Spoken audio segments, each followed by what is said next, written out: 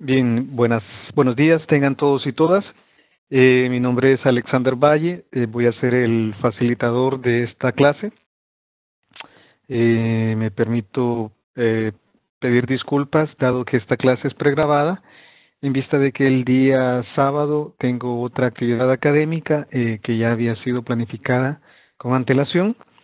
Déjeme comentar que actualmente soy el técnico principal de gestión de riesgos del Programa de las Naciones Unidas para el Desarrollo y al mismo tiempo coordinador de proyectos. Y les voy a acompañar en esta lección de ahora y en las y en un par de lecciones más.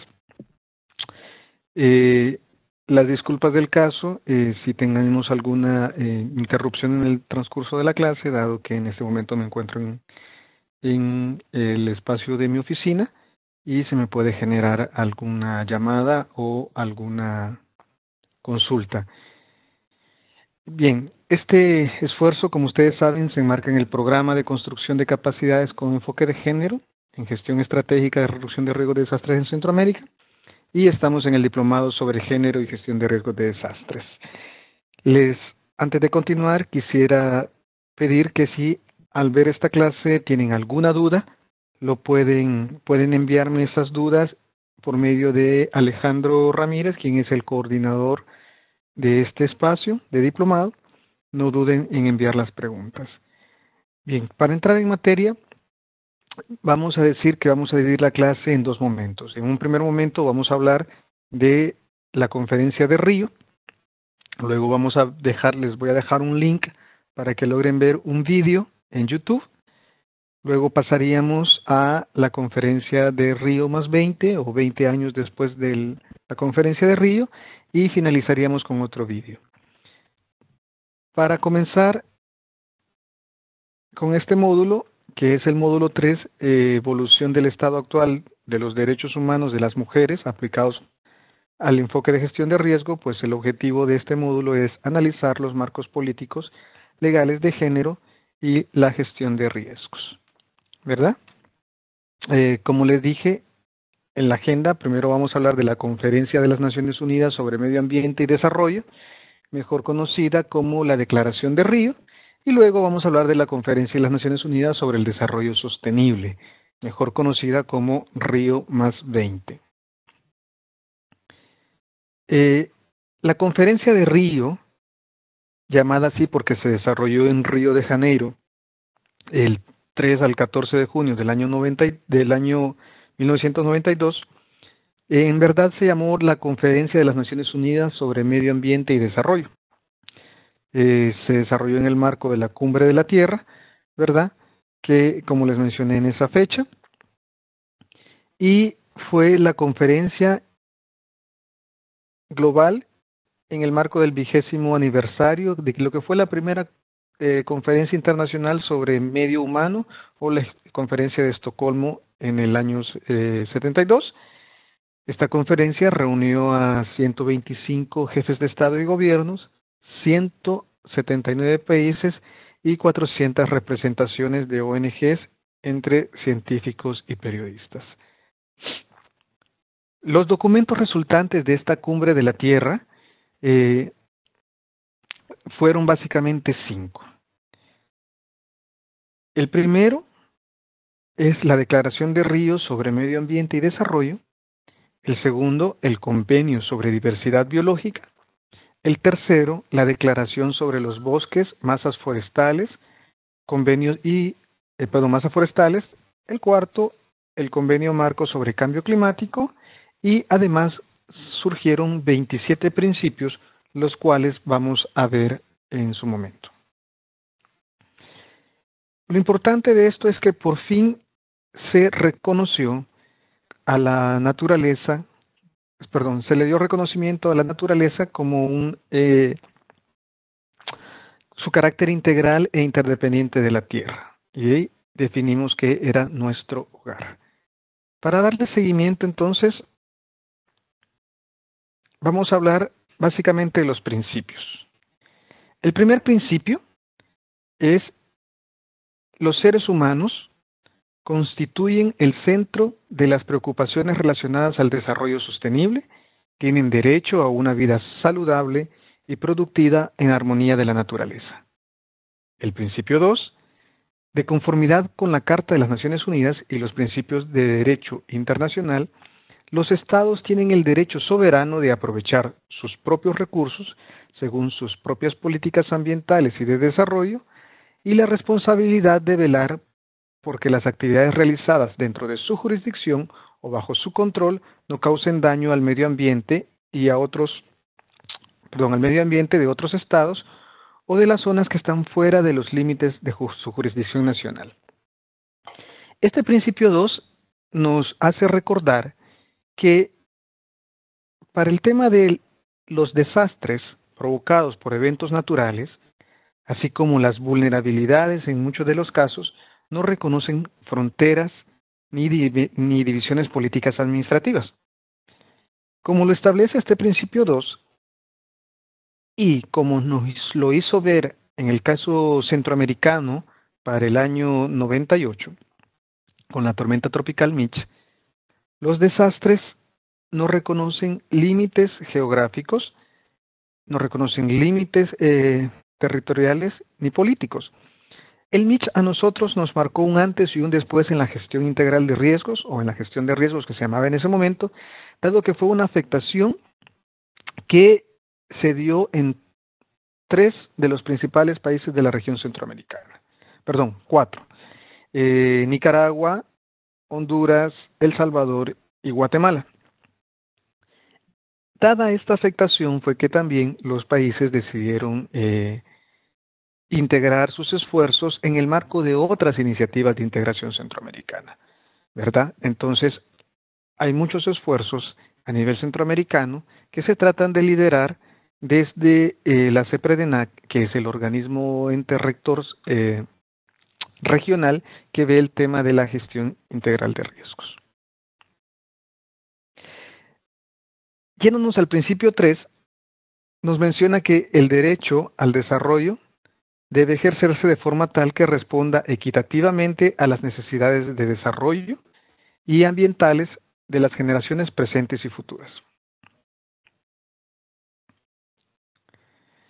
El principio 4, a fin de analizar el desarrollo sostenible, la protección del medio ambiente debe construir parte integrante del proceso de desarrollo y no podrá considerarse de forma aislada. Otra de las evoluciones que se ha tenido en el tema de la gestión de riesgos es cuando ya empezamos a ver que aquellos modelos de desarrollo que se estaban desarrollando en los diferentes países estaban construyendo, eh, perdón, estaban contribuyendo a la construcción de vulnerabilidades. Como ustedes habrán visto en las clases relacionadas a los conceptos de gestión de riesgo, eh, se habrán dado cuenta de que el riesgo como tal, eh, o la vulnerabilidad sobre todo, se convierten en una construcción social. Una construcción social dada principalmente desde las, los errores del desarrollo. En ese tema decimos que los riesgos son eh, producto en alguna medida de los errores que se dan en los modelos de desarrollo. Por eso, hoy por hoy se está impulsando que en los modelos de desarrollo se debe de tomar en cuenta el enfoque de reducción de riesgos de desastres.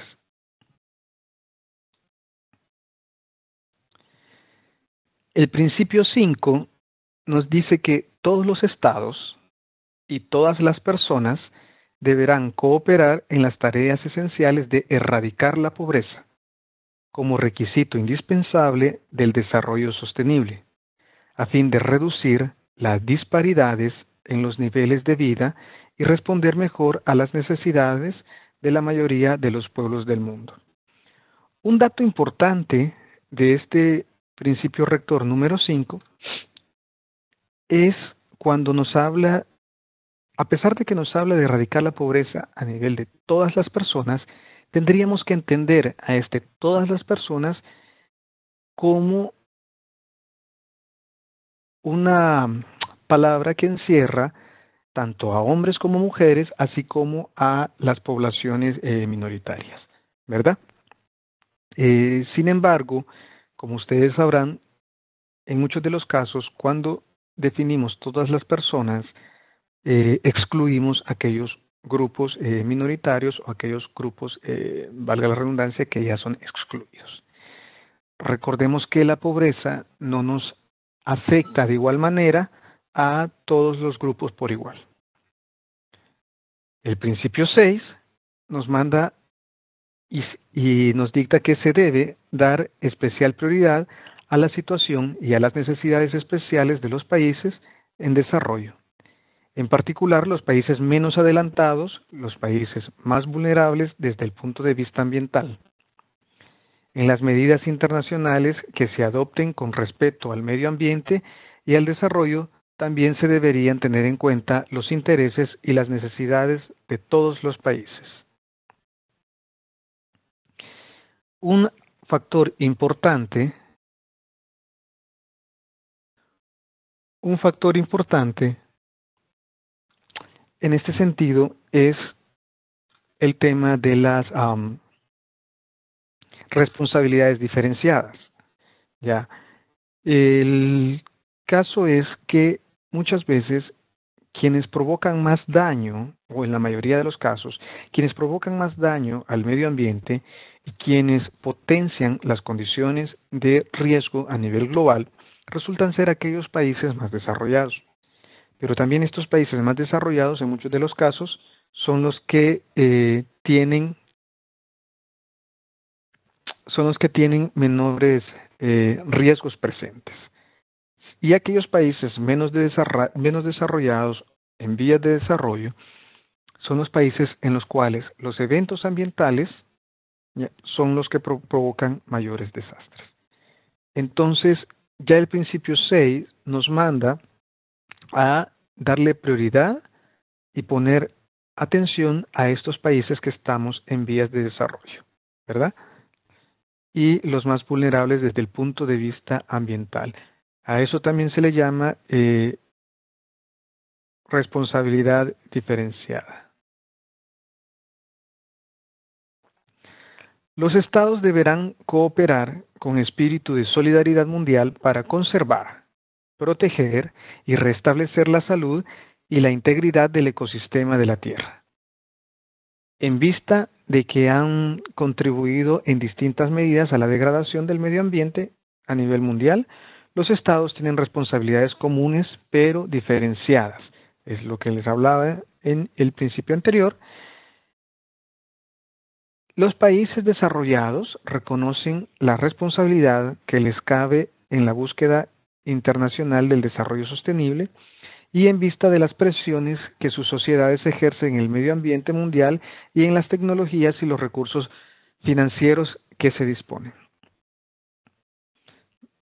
El principio 8 nos dice que para alcanzar el desarrollo sostenible y una mejor calidad de vida para todas las personas, los estados deberán reducir y eliminar las modalidades de producción y de consumo insostenibles y fomentar políticas demográficas apropiadas.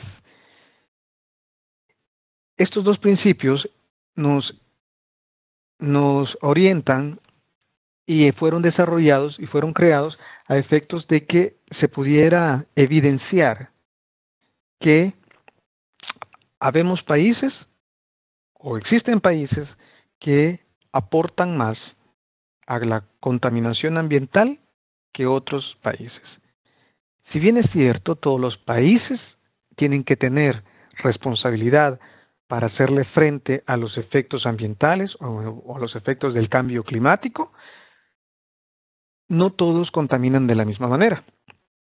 Entonces, de ahí se viene el principio de responsabilidad común, pero diferenciada. Es decir, que aquellos países que más contaminan debieran tener una mayor responsabilidad en torno a estos problemas. Lo que nos invita es eh, a cambiar estos modelos de producción y estos modelos eh, de consumo insostenibles. Esto, recordemos que fue una conferencia que salió, eh, como lo vimos, en 1992. El principio 9 Los estados deberían cooperar en el fortalecimiento de su propia capacidad de lograr el desarrollo sostenible, aumentando el saber científico mediante el intercambio de conocimientos científicos y tecnológicos e intensificando el desarrollo, la adaptación, la difusión, la transferencia de tecnologías entre estas tecnologías nuevas e innovadoras. El mejor modo de tratar las cuestiones ambientales es con la participación de todos los ciudadanos interesados en el nivel que corresponda. Ya acá nos están invitando a que todas las personas de la sociedad seamos y de todas las sociedades seamos actores de la lucha en contra de la contaminación ambiental, en contra eh, de la degradación del el medio ambiente como tal. Y debiera ser el Estado el que promueva estas, estas políticas. Sin embargo, como ustedes habrán notado, del año 92 al año, a la fecha, el discurso ha cambiado. Se está incluyendo en el discurso cuestiones como el medio ambiente, el cambio climático, la adaptación al cambio climático, er, se habla de degradación ambiental, sin embargo, de fondo, estamos viendo que todavía nos falta desarrollar las políticas. Esto es como hablar del tema de género. El tema de género, como ustedes saben, es mucho más que lenguaje inclusivo, si no tenemos acciones inclusivas. ¿Ya? De nada nos sirve que nuestros tomadores de decisiones y que nuestros estados hablen constantemente sobre medidas de adaptación al cambio climático, conservación del medio ambiente, si las acciones que se hacen desde el Estado no compensan eh, ni están a favor de reducir estas y otras afectaciones. Continuando con el principio 10, en el plano nacional, todas las personas deben tener acceso adecuado a la información sobre el medio ambiente de que se dispongan las autoridades públicas, incluida la información sobre los materiales y las actividades que encierran peligro en sus comunidades, así como las oportunidades de participar en los procesos de adopción de decisiones. Los estados deberán facilitar y fomentar la sensibilización y la participación de la población poniendo la información a disposición de todos. Se, eh, proporcionarse, perdón, debe proporcionarse acceso efectivo a los procedimientos judiciales y administrativos, entre estos el resarcimiento del daño por eh, de daños y los recursos pertinentes. Eh, desconozco si Desconozco si entre alguna de las personas que están ahora mismo en el diplomado se encuentra alguien especialista en, la parte jurídica. Eh, sin embargo, si se encuentra una persona especialista en jurisprudencia, sería interesante que nos aportara, por ejemplo, la función de los tribunales ambientales. Resulta que, si bien es cierto, en El Salvador existen tribunales ambientales y existe eh, desde el Ministerio del Ambiente y desde el Ministerio de Agricultura y Ganadería marcos jurídicos para poder hacerle eh, tomar acciones en contra de aquellas personas naturales o jurídicas que hacen afectación al medio ambiente. También las alcaldías municipales cuentan con unidades ambientales ¿verdad? O sea, se cuentan con las herramientas, no siempre estas herramientas son utilizadas, ¿verdad? Resulta que todavía en nuestro país, y como lo han podido ver, eh, a más de 20 años, eh, a 23 años de la conferencia de Río, todavía se sigue Em, no se sigue cumpliendo a cabalidad ni se siguen utilizando estos recursos eh, de manera eficiente. Los tribunales ambientales son tribunales los, que, en los cuales todavía no hay mucho movimiento y, como lo han visto en las últimas noticias, hay gente que degrada el medio ambiente y eh, todavía no se toman medidas legales al respecto.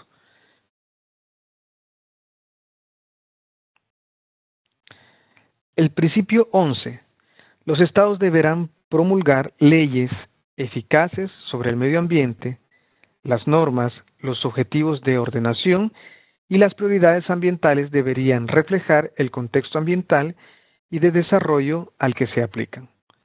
Las normas eh, aplicadas por algunos países pueden resultar inadecuadas y representar un costo social y económico injustificado para otros países, en particular los países en desarrollo.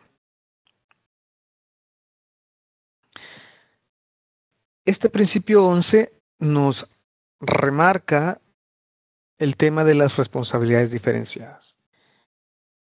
Todos los países que se encuentran eh, desarrollados debieran de tomar en cuenta eh, que con sus emisiones de gases, por ejemplo, de gases de efecto invernadero, están afectando a todos los demás países del mundo, pero aquellos que se ven más afectados somos los países en vías de desarrollo y sobre todo los países que nos encontramos en las regiones eh, del círculo central donde nos vemos más afectados por los efectos del cambio climático. ¿verdad? Estamos hablando de lugares con sequías y lugares donde sufrimos tormentas o ciclones. Entonces hay que reconocer que los países que se encuentran más al norte, que resultan ser los países que más contaminan, muchas veces son los que menos se ven afectados por estas condiciones. Los estados deberían cooperar en la promoción de un sistema económico internacional favorable y abierto eh, que llevará al crecimiento económico y al desarrollo sostenible de todos los países, a fin de abordar la mejor forma los problemas de la degradación ambiental. Las medidas de políticas comerciales con fines ambientales no deberían constituir un medio de discriminación arbitraria o injustificable, ni una restricción velada del comercio internacional. Se debería evitar tomar medidas unilaterales para solucionar los problemas ambientales que se producen fuera de su jurisdicción del país importador. Las medidas destinadas a tratar los problemas ambientales transfronterizos o mundiales deberían, en la medida de lo posible, basarse en un consenso internacional. Como ven, seguimos haciendo bastante énfasis en el tema de que las afectaciones al medio ambiente no respetan fronteras eh, políticas administrativas. Principio 13. Los estados deberán desarrollar la legislación nacional relativa a las responsabilidades y la indemnización respecto de las víctimas de la contaminación y otros daños ambientales. Los estados deberán cooperar asimismo de manera expedita y más eh, decidida en la elaboración de nuevas leyes internacionales sobre responsabilidad e indemnización por los efectos adversos de los daños ambientales causados por las actividades realizadas dentro de su jurisdicción o bajo su control en zonas situadas fuera de su jurisdicción. Como ven, ya acá nos invita a que cada país debiera sancionar en el interior de los países aquellas acciones que hay contra el medio ambiente que lo degraden y debiera eh, de existir una mm, indemnización para aquellas personas que eh, son afectadas por eso. Eh, por ejemplo, ¿qué pasa con aquellas personas que viven en la zona baja de la libertad? Estas personas que se encuentran en la zona baja de la libertad, eh, allí por el puerto, se están viendo afectadas por las intervenciones que han habido en San José Villanueva y en los municipios que están al norte de la Libertad, que estamos hablando de San José Villanueva y eh, Nuevo Cuscatlán. San José Villanueva y Nuevo Cuscatlán son dos municipios que han tenido en los últimos años mucha intervención de carácter urbanístico. Si ustedes ven toda la parte, cuando ustedes están bajando al puerto de la Libertad, toda la parte eh, alta se está urbanizando, pero sobre todo se está impermeabilizando. Esto ha provocado que en la parte baja, cuando llueve, eh, se aporte más agua a eh, las cuencas y los ríos alcancen niveles más altos. De hecho, eh, no sé si ustedes saben que muchos de los de estas quebradas ya se han cobrado la vida de personas. Hoy en día, las lluvias que regularmente no causaban afectaciones en la parte baja, ahora ya causan afectación debido a la eh, limitada capacidad de los suelos a infiltrarse. Entonces, en el mundo ideal, se debió haber, se debiera sancionar a estas empresas que provocaron estas afectaciones. O por otro caso, se les debiera solicitar que crearan obras de mitigación o eh, obras de infiltración que favorezcan a que el agua no se vaya por escorrentía superficial, sino que logre infiltrarse en el terreno. Sin embargo, hasta donde yo estoy enterado, ese tipo de intervenciones no se ha hecho. Y sería interesante si alguno o alguna de ustedes pudiera aportar en torno a este, a este tema.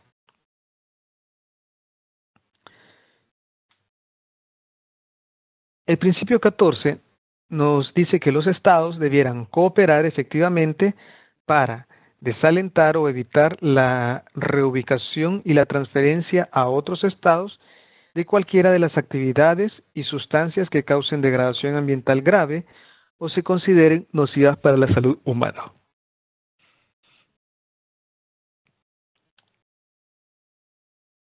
En este sentido, se me viene eh, mucho a la mente el caso de eh, los productos contaminantes, básicamente los toxtafenos que ustedes eh, pudieron ver en las noticias y que fueron enviados en vía marítima a, eh, si mal no recuerdo, no recuerdo si fue eh, Polonia u otro, otro país que se iba a encargar de la, del procesamiento de estos productos. Eh, lo que quizás no todos ustedes se dieron cuenta es que eh, eh, este país donde llegaron estos productos hubo una movilización, eh, alguna movilización de personas que estaban en contra de que ese producto, perdón, entrara a su país ya que eran productos contaminantes. Eso era esto debiera ser en toda vía, o sea, el país, el caso salvadoreño, debiera eh, mejorar sus controles, El Salvador tiene controles, pero debiera mejorar sus controles para evitar que aquellas sustancias que causen degradación ambiental puedan ingresar al país. Ya existe una lista de estas, eh, por ejemplo, productos como los CFCs, los clorofluorocarbonos y los HCFCs. Principio 15. Con el fin de proteger el medio ambiente, los estados eh, deberán aplicar ampliamente el criterio de precaución conforme a sus capacidades. Cuando haya peligro de daño grave o irreversible, la falta de certeza científica absoluta no debe utilizarse como razón para postergar la adopción de medidas eficaces en función de los costos para impedir la degradación del medio ambiente. Esto me recuerda a un principio que en derecho se llama indubio pro reo, eh, que significa que ante la duda en un proceso se debe tomar en cuenta todo aquello que facilite al reo. Antes esto era lo contrario, ¿verdad? antes ante cualquier duda que existiera en un proceso judicial, era lo que favoreciera al Estado, ¿verdad? Que el que estaba juzgando, no lo que favoreciera al reo. Uno de los principales problemas que tenemos aquí es que muchos de los contaminadores, ¿verdad? Mantienen que no existe una certeza científica, ¿ya? Una certeza científica o no está comprobado científicamente sobre los efectos del cambio climático, por ejemplo. Entonces, al no tener una certeza científica, fácilmente ellos pueden obviar esa realidad y continuar contaminando. De hecho, eso es lo que están haciendo. Y esto me recuerda, eh, por ejemplo, no sé si ustedes sabrán que existe eh, dos corrientes de investigaciones científicas. La corriente de investigaciones científicas que trata de buscar las evidencias que comprueben el cambio climático, ¿ya? y la contaminación ambiental, y la corriente científica que es contratada por las grandes empresas o por los contaminadores que se encarga de desmentir todo aquello que, eh, que los otros producen. Y es una cuestión muy curiosa. Por ejemplo, eh, el plomo fue uno de los contaminantes y ha sido uno de los mayores contaminantes del medio ambiente. Sin embargo, eh, hubo una gran lucha entre el científico que descubrió la afectación del plomo y las empresas petroleras. Y no fue sino hasta que las empresas, eh, hasta que ya no hubieron métodos científicos para refutar eh, que el plomo era un contaminante, eh, que las empresas petroleras lograran identificar o más bien reconocer que reconocer que sus productos eran contaminantes y sacar la famosa gasolina sin plomo. Eh, de hecho, para quienes conocen la historia del soldadito de plomo, este cuento eh, muy, muy estadounidense,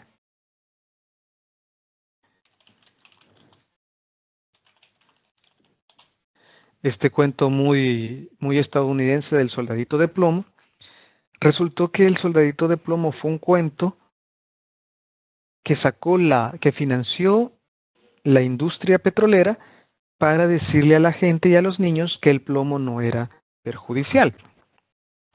Entonces hubo toda una gran campaña mediática para que la gente siguiese comprando productos con plomo, sobre todo las pinturas y este, los combustibles.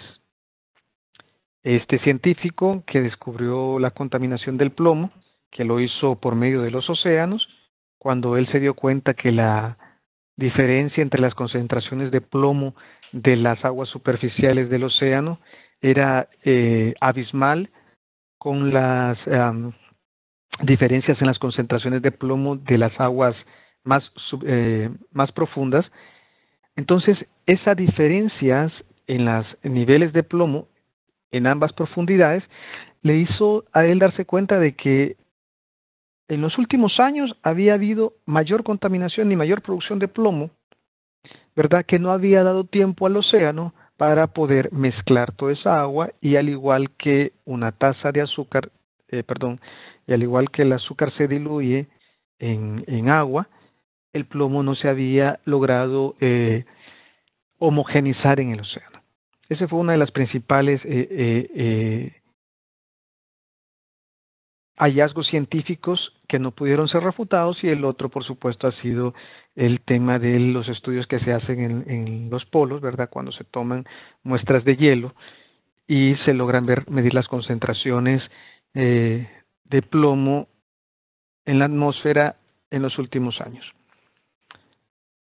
Como les repito, no fue hasta entonces que ya no hubieron razones para justificar y decir que el plomo no era, no era dañino y de hecho cancerígeno, que las empresas petroleras ya empezaran a admitir y a producir gasolina sin plomo.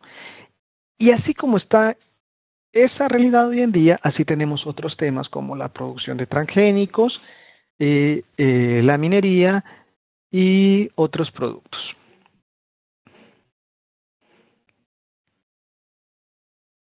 Entonces, volviendo a esto, ante cualquier duda que los estados tengan si hay un contaminante, los estados o una acción posiblemente perjudicial al medio ambiente, los estados debieran de darle lo que beneficie al medio ambiente, ¿verdad?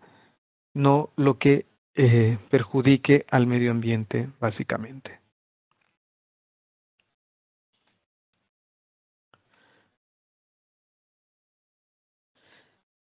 En el principio 16, las autoridades nacionales deberían procurar fomentar la internalización de los costos ambientales y del uso de instrumentos económicos, teniendo en cuenta el criterio de que el que contamina debe, en principio, cargar con los costos de la contaminación, eh, teniendo debidamente en cuenta el interés público, sin distorsionar el comercio ni las eh, inversiones internacionales.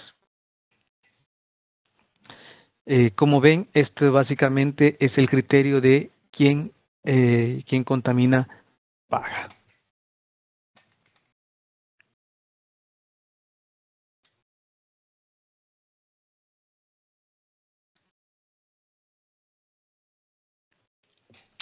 Eh, deber eh, Debe emprenderse una evaluación del impacto ambiental en calidad de instrumento nacional respecto de cualquier actividad eh, propuesta que probablemente haya de producir un impacto negativo considerable en el medio ambiente y que esté sujeta a la decisión de una autoridad nacional eh, competente.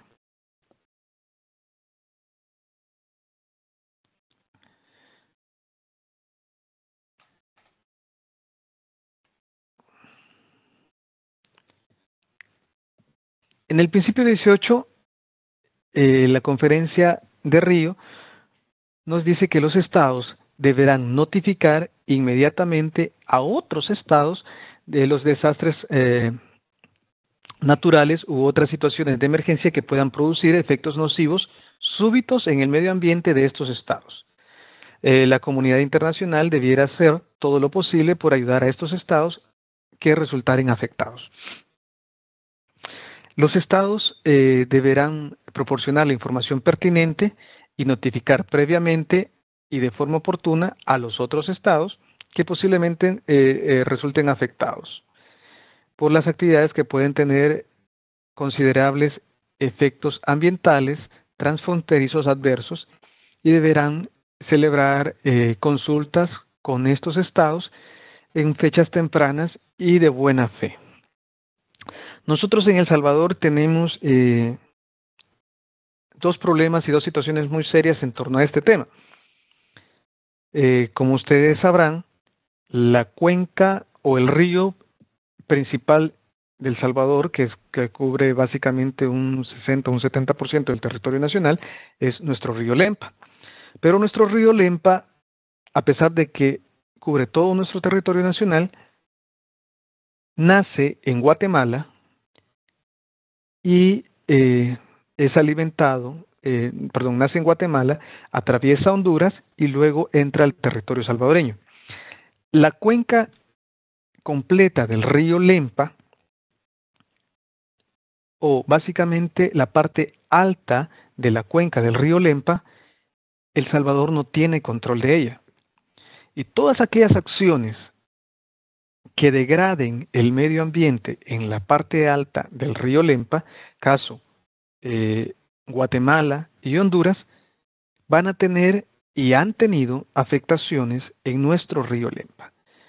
Eh, ustedes sabrán, eh, por ejemplo, que en Guatemala, voy a buscar bien el nombre, en Guatemala, al otro lado eh, del lago de Huija, hay una explotación minera.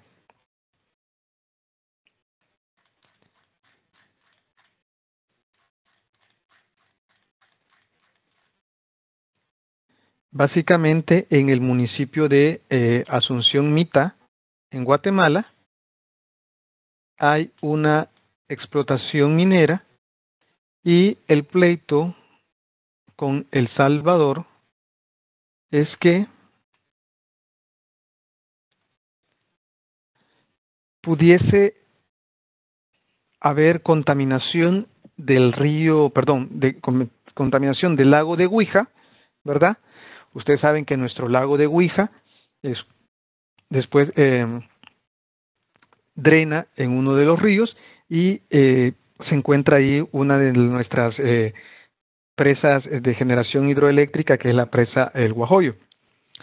Entonces, hubo, eh, actualmente no sé en qué ha parado o, en qué está el caso, sin embargo, en su momento, hace aproximadamente unos cinco años, había toda una discusión en el marco del, eh, de Trifinio, ¿verdad?, sobre la pertinencia o no de esta explotación minera en Guatemala. Al parecer la explotación minera en Guatemala sí, reunía los permisos ambientales y los permisos, eh, todos los permisos que demanda la, la legislación guatemalteca para que pudiera hacer explotación minera en esta zona. Sin embargo, El Salvador, sobre todo la gente de Trifinio, la gente de Metapán, insistía de que esta explotación minera pudiera generar el exiliado, sobre todo el caso del arsénico, que pudieran depositarse en el lago, lo cual iba a contaminar el lago eh, de Huija, que al igual que el río Lempa, tiene eh, mayor, su mayor volumen se encuentra del lado del territorio salvadoreño. Eh, además de eso, el lago de Huija es turístico para los salvadoreños y muchas de las comunidades que viven en torno al lago de Huija sobreviven de la pesca que tienen en este lago. Entonces, en el mundo ideal, ¿verdad? Eh, Guatemala hubiese tenido que negociar, avisar, informar al Salvador sobre esto o analizar si efectivamente eh, el establecimiento de esta, de esta explotación eh, minera iba a afectar al, al país eh, y al lago de Huija. También existió en su momento un tema de eh, basureros en Honduras, ¿verdad?, que podían contaminar el río Lempa. Entonces, esos son algunos de los ejemplos de contaminaciones que pudieran ser transfronterizas. El siguiente principio es el principio, es el único principio que habla directamente de eh, las mujeres, mencionando como el principio 20, y este es el que eh, ustedes deben eh, reconocer y tener más en mente, es que las mujeres desempeñan un papel fundamental en la ordenación del medio ambiente y en el desarrollo. Es por tanto imprescindible contar con su plena participación para lograr un desarrollo sostenible. Si bien es cierto, se ha hablado atrás y nosotros sabemos que en todas las análisis y en todos los principios anteriores se debe de tomar en cuenta y debe de analizarse eh, de carácter eh, multisectorial, ¿verdad? Y de manera inclusiva. Solamente es en este principio donde nos invitan a ya tomar en cuenta a las mujeres o la opinión de las mujeres en las cuestiones de tipo medioambiental y en las cuestiones que, que estén contribuyendo al desarrollo, ¿verdad? Eh, este, para efectos de la legislación ambiental, perdón, o, o de la normativa internacional ambiental, es un, y el tema de género es un logro que ya se logre, que ya se haya podido evidenciar en uno de los principios, ¿verdad? La inclusión de las mujeres dentro de las opiniones. El principio 21 nos dice que debería movilizarse la creatividad, los ideales y el valor de los jóvenes del mundo para forjar una alianza mundial orientada a lograr el desarrollo sostenible y asegurar un mejor futuro para eh, todos.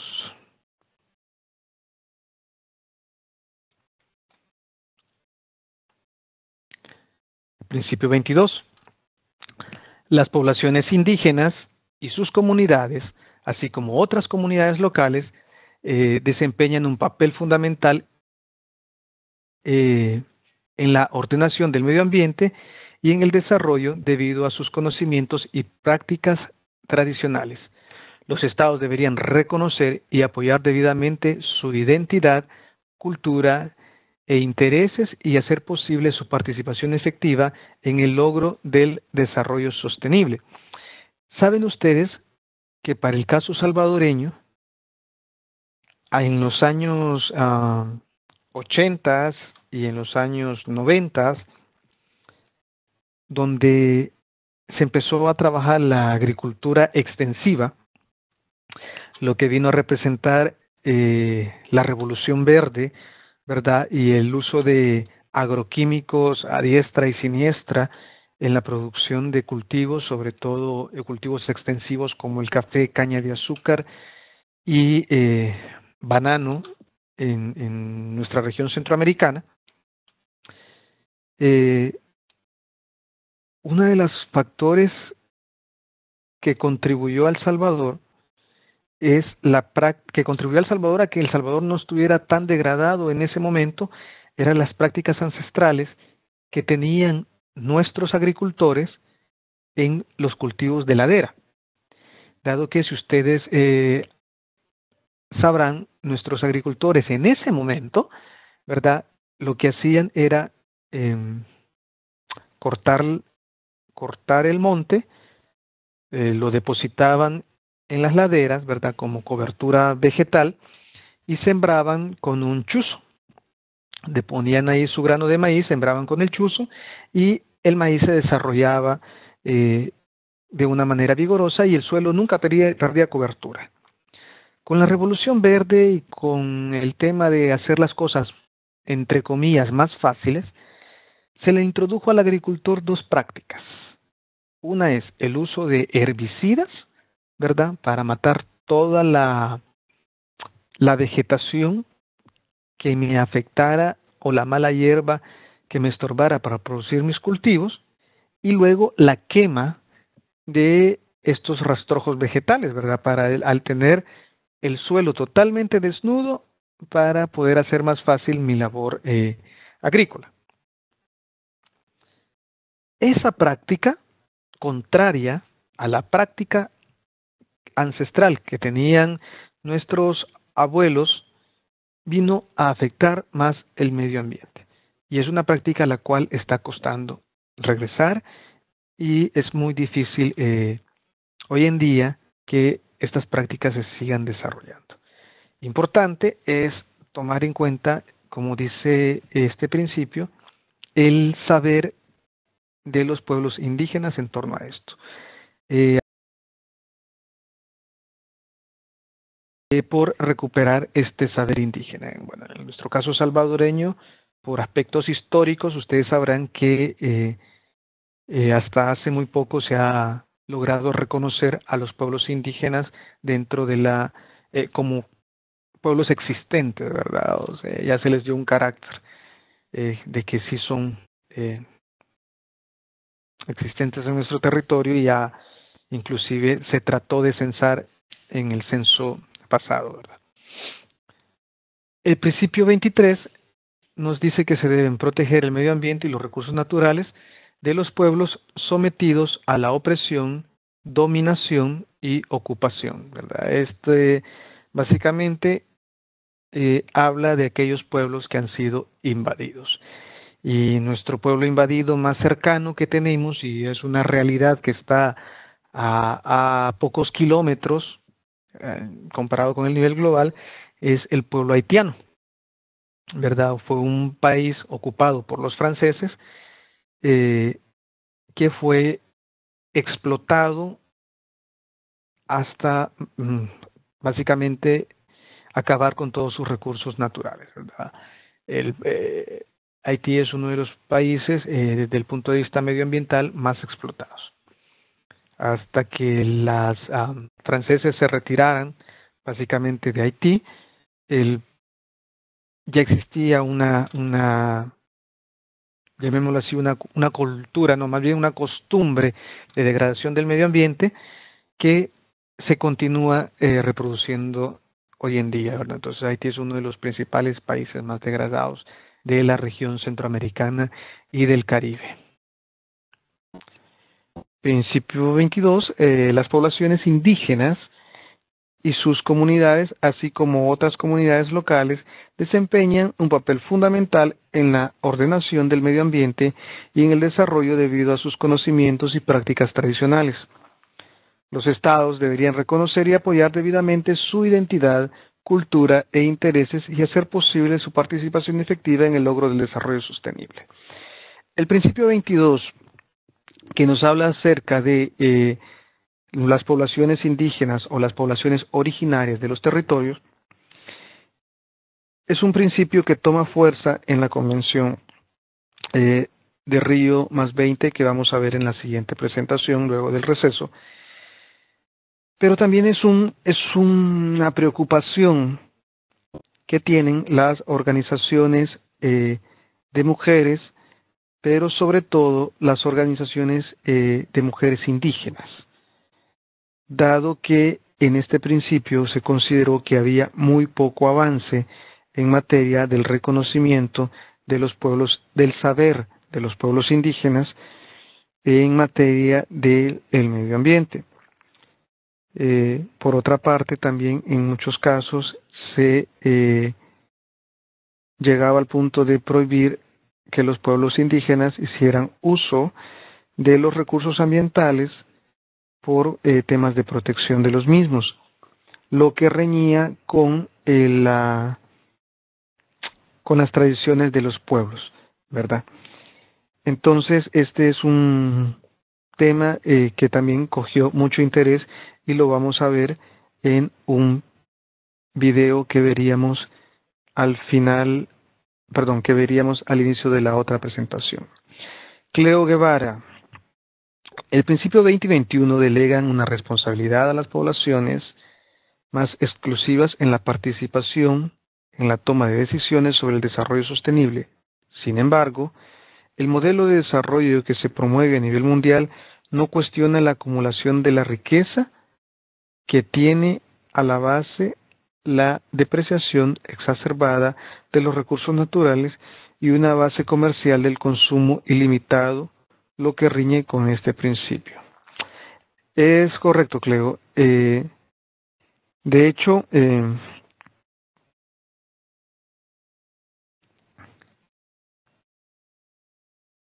una de las de los discursos dados en la Convención de Río nos menciona precisamente que eh, los pueblos o las, las poblaciones, los países que mantienen los poderes económicos fomentan en los países que están en vías de desarrollo la eh, el consumismo también, ¿verdad? Y la eh, explotación de los recursos naturales. Principio 23. Deben protegerse el medio ambiente y los recursos naturales de los pueblos sometidos a la opresión, dominación y ocupación. Principio eh, 24.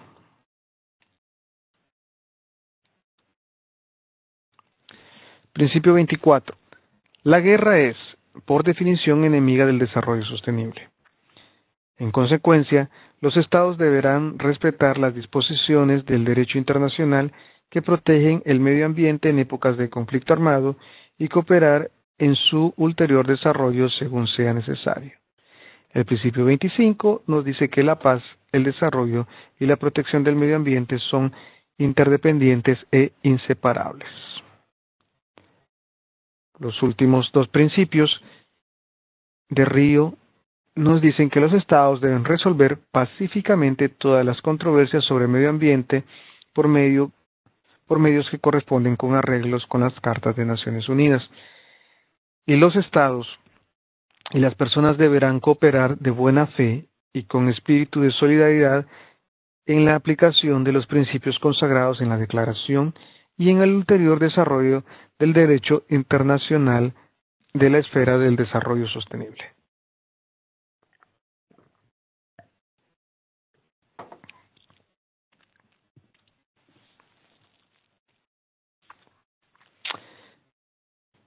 Ops, lo siento, volví a poner mi nombre.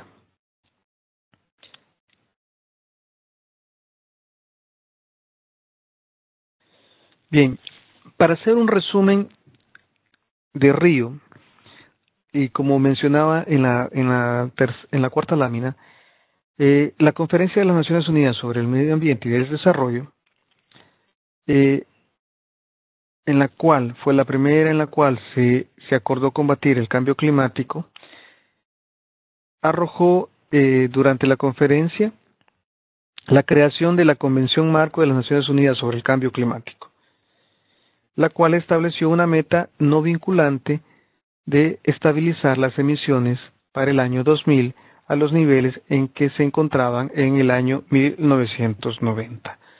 Vale mencionar que esta, que esta meta no ha sido alcanzada. La Declaración de Río hace especial hincapié en el papel de la mujer y la necesidad de su plena participación en el desarrollo sostenible, como lo vimos en el principio número 20. Eh, para desarrollar la declaración se estableció la Agenda 21. La Agenda 21 eh, fue la que se creó para poder darle seguimiento a esta declaración y la agenda incluye un capítulo exclusivo, que es el capítulo 24 titulado Medidas Mundiales en favor de las mujeres para lograr el desarrollo sostenible equitativo. Estos archivos, eh, eh, tanto la presentación como estos, eh, la Agenda 21 y otros documentos, se los estaría enviando vía electrónica bueno, se los estaría compartiendo a Alicia para que Alicia los ponga a disposición de ustedes. Entonces, eh, la Conferencia de las Naciones Unidas sobre el Ambiente y el Desarrollo invita a los gobiernos a introducir los cambios eh, constitucionales, legales, administrativos, culturales, sociales y económicos necesarios con el fin de eliminar todos los obstáculos para la participación plena de la mujer en el desarrollo sostenible y en la vida pública. Ok, Alicia me, confirma que se compartirán los documentos vía la plataforma de e-learning. También la Conferencia de Naciones Unidas sobre el Ambiente y el Desarrollo eh, nos destaca la necesidad de proporcionar medidas que fomenten la participación de la mujer en el ordenamiento perdón, en la ordenación nacional e internacional de los ecosistemas y la lucha contra la degradación del medio ambiente.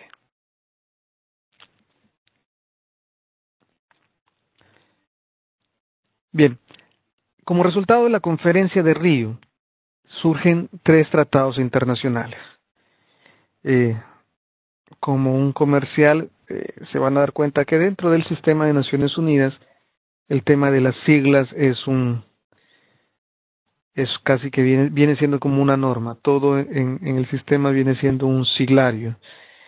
Entonces, eh, los tratados internacionales que se crearon posteriores a Río son la Convención Marco de las Naciones Unidas para el Cambio Climático, la Convención sobre Diversidad Biológica y la Convención de las Naciones Unidas de Lucha contra la Desertificación.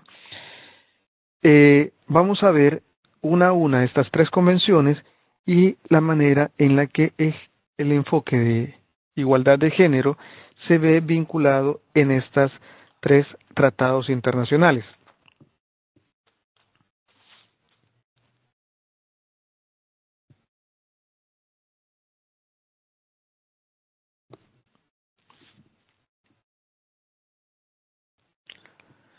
En primer lugar, la Convención Marco de las Naciones Unidas para el Cambio Climático esta se dio en Nueva York también en el año 92 y entró en vigor hasta el año 94.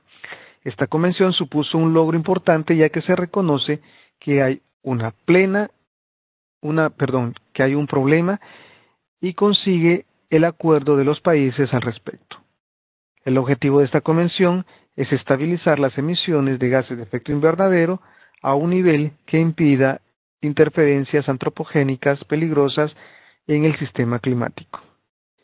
Se declara asimismo que ese nivel debería lograrse en un plazo suficiente para permitir que los ecosistemas se adapten naturalmente al cambio climático, asegurar que la producción de alimentos no se vea amenazada y permitir que el desarrollo económico prosiga en materia sostenible. La Convención también nos pide el establecimiento de inventarios precisos y periódicamente actualizados de las emisiones de gases de efecto invernadero de los países industrializados. Los países que han ratificado el tratado se comprometen a tener en cuenta el cambio climático en los asuntos relacionados con la agricultura, la industria, la energía, los recursos naturales y las actividades que afectan a los litorales marinos y acuerdan establecer los programas nacionales para frenar el cambio climático. La convención es un documento marco, lo que quiere decir que es un texto que debe enmendarse o desarrollarse con el tiempo para que los esfuerzos frenen el calentamiento global y el cambio climático pueda orientarse mejor y ser más eficaz. El protocolo de Kioto eh, aprobado en el año 97, fue la primera adición al tratado y cuenta con las medidas energéticas y jurídicamente vinculantes. También vale mencionar que en la Convención Marco para el Cambio Climático es que se conformó eh, las COPs, ¿verdad? Que es el Consejo de Partes. Eh, ok. La Convención también responsabiliza de la lucha contra el cambio climático, especialmente a los países industrializados, ya que son ellos los que generan la mayor parte de las emisiones de gases de efecto invernadero en el pasado y en la actualidad. Así, las naciones industrializadas se comprometen a respaldar a los países en desarrollo actividades relacionadas con el cambio climático, ofreciendo apoyo financiero sin perjuicio de la asistencia que ofrecen ya dichos países. Se ha establecido un sistema de donaciones y préstamos a través de la Convención que es eh, administrado por el Fondo para el Medio Ambiente Mundial. Los países industrializados han acordado también compartir las tecnologías con las naciones menos avanzadas. Cleo Guevara nos comenta, de manera opuesta a esta convención, las transnacionales han promovido la degeneración de la semilla, convirtiéndolas en transgénicas como una medida de adaptabilidad al cambio climático. Pero esto genera una dependencia en la seguridad y la soberanía alimentaria. Asimismo, la producción de pesticidas y la depredación del entorno ambiental y la muerte de la diversidad, de la diversidad biológica. Gracias, Cleo, por su comentario.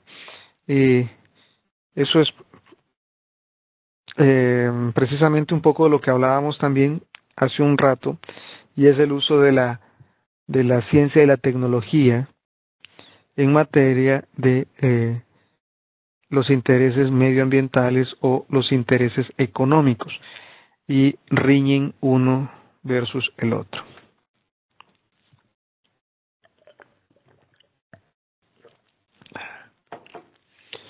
Eh, para el caso de la Convención Marco de las Naciones Unidas para el Cambio Climático, eh, no se menciona la perspectiva de género ni hace referencia a la vulnerabilidad específica de las mujeres frente al cambio climático.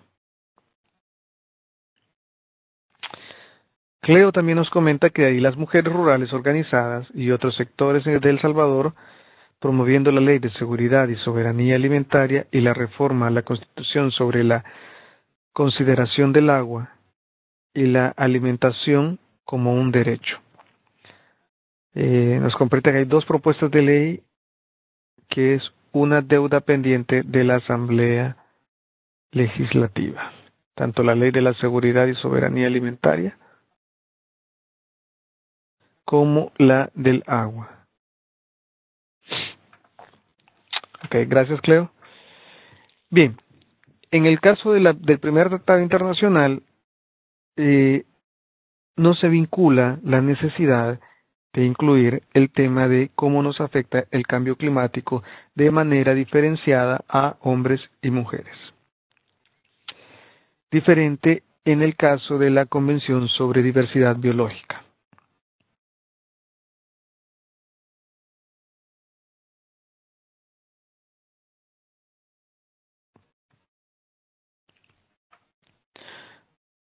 Bien, la Convención sobre Diversidad Biológica es el primer acuerdo internacional para la Convención para la conservación, el uso sostenible de la biodiversidad y la distribución justa y equitativa de los beneficios que provienen de la utilización de los recursos genéticos. Eh, la convención perdón, esta convención eh, legalmente vinculante fue adoptada en la Cumbre de la Tierra del año 92, ¿verdad? De la cual hacemos mención. En el párrafo 13 del preámbulo de la Convención sobre Diversidad Biológica se reconoce eh, la función decisiva que desempeña la mujer en la conservación y la utilización sostenible de la diversidad biológica y afirmando la necesidad de la plena participación de la mujer en todos los niveles de la formulación y la ejecución de la política encaminada a la conservación de la diversidad biológica.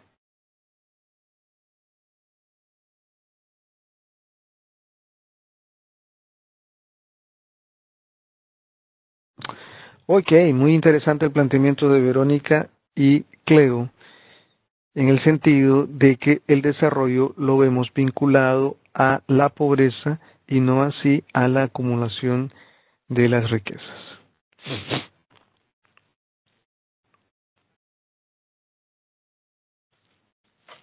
Entonces, eh, la Convención sobre Diversidad Biológica es el único acuerdo ambiental que se menciona en la Plataforma de Acción de Beijing. La Plataforma de Acción de Beijing fue la cuarta conferencia mundial sobre la mujer que se desarrolló en septiembre de 1995. La primera eh, conferencia mundial de la mujer se, se, desarrolló en la década de los 70 en México.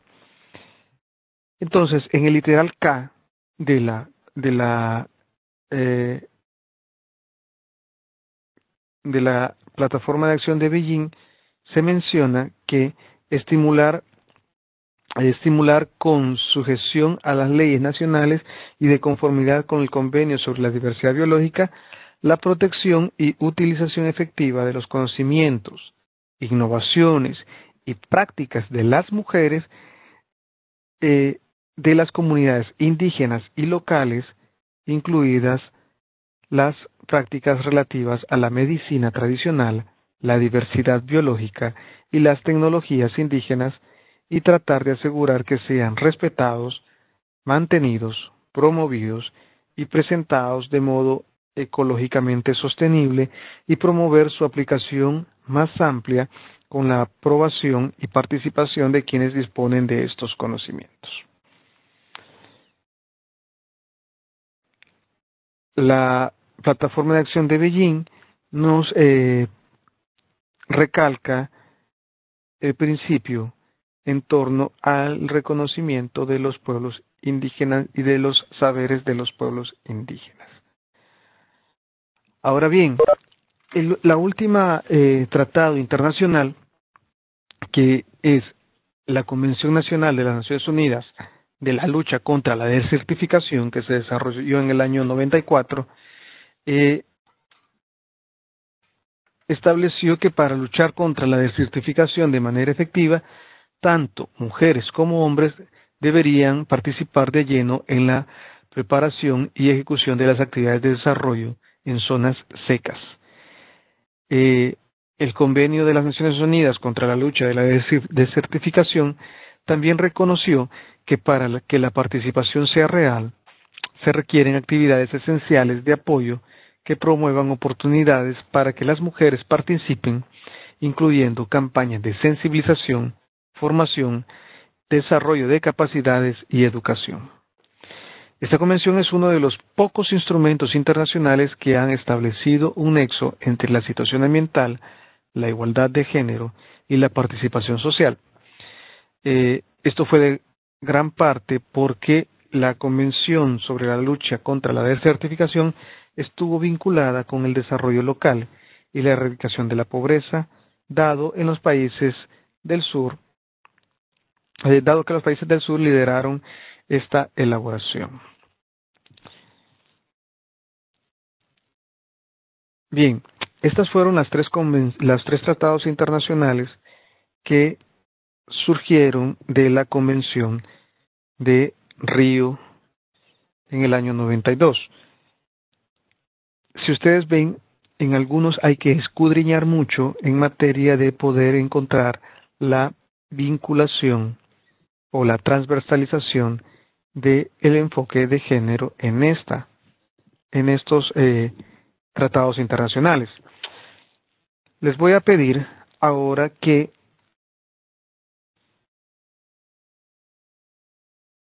copiemos el link y veamos este vídeo, dado que me comentó Alicia de que si lo proyectaba era demasiado tardado para que cargara dentro de la plataforma. Lo que les estoy mostrando, eh, el link que espero o supongo que algunos de ustedes ya vieron, fue el discurso de eh, Sever Suzuki, una niña que viajó desde Canadá junto con sus otras amigas y dio un discurso en el marco de la cumbre de la Tierra. Entonces el video dura alrededor de seis minutos, por lo que les voy a pedir eh, siete minutos por lo que les voy a pedir que nos tomemos estos siete minutos para poder ver el video. Luego del video vamos a ver algunos comentarios en torno del video y luego eh, pasaríamos a un receso. ¿Preguntas al momento? Bien, si no hay preguntas, entonces Entonces, iniciamos por favor con la reproducción del video. Eh, busqué dentro de la um, YouTube el video que tuviera se, se, viese mejor, así es que eh, también es un material eh, que ha tenido bastantes reproducciones y no todas son de calidad. Ok, entonces nos tomamos siete minutos para ver el video, luego vamos a tener un espacio de discusión del mismo. Ahora las listas. Bien, eh, ¿Algunos de ustedes, vamos a dejar el espacio, eh, ¿alguno de ustedes quiere comentar algo en torno a este video?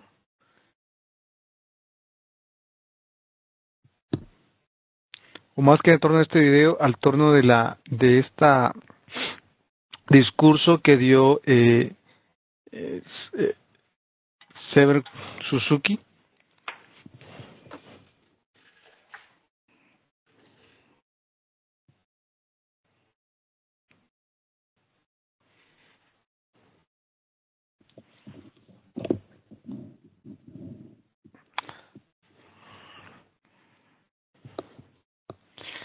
Les parece interesante el planteamiento que hace una una niña eh, ante los jefes de Estado de 190 y 190 países, más de 190 países del mundo, 179 países del mundo.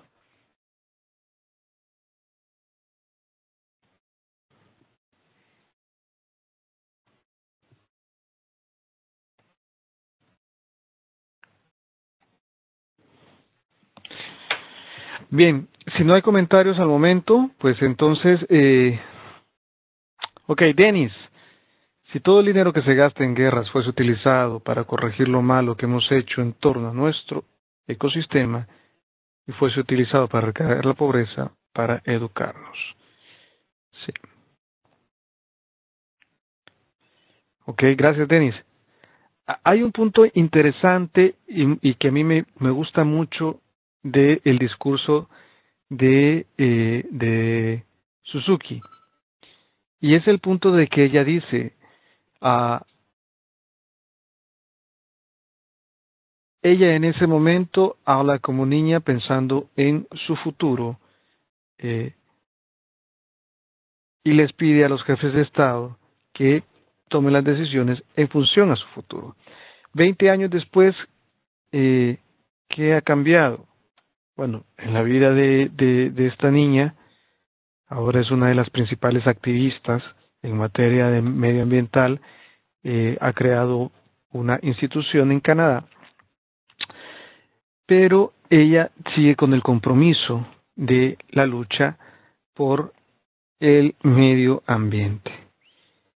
Entonces ella en ese momento pidió a los jefes de Estado que no tuvieran una visión pobre y limitada desde los aspectos de vista económicos, sino una visión de proyección, pensando en las próximas generaciones. Cleo nos comenta, ah, creo que es importante la participación de los niños y las niñas en estos espacios de toma de decisión. Lamentablemente, no hay mecanismos de verdadera participación en los países de origen pues como bien se planea en el discurso, llegaron con costos a ese escenario, pero de lo dicho a lo actuado por cada uno de los gobiernos ahí presentes en ese momento de sensibilización no tuvo el impacto esperado. Yo tengo ciertas eh, dudas al respecto, creo que sí tuvo algún impacto. Verónica comenta que el video nos demuestra que conocemos los daños ambientales de la humanidad que la humanidad ha causado. Sin embargo, eh, no se toman medidas drásticas para cambiar ese rumbo porque hay otros intereses que superan el respecto a la naturaleza y la vida digna. Cleo además nos comenta que cree que quienes más aprendieron fueron los niños y las niñas, pues hacen práctica de sus derechos y los exigen. Esto los vuelve a ser sujetos de derecho y no simples espectadores de su realidad. Muy bien, eh, Denis menciona, eh, nos comenta que también eh, Suzuki menciona, si los que están aquí están como padres y madres, creo que si los representantes de Estado trabajaran pensando en el futuro de sus hijos e hijas, trabajaran mejor. Y Miriam nos dice que efectivamente el planteamiento de Sever es hacer un buen uso de los recursos. A mí, en torno también a este discurso, lo que me resulta importante y relevante es el espacio que se logró dar a esta a esta niña en poder participar en este, en este evento.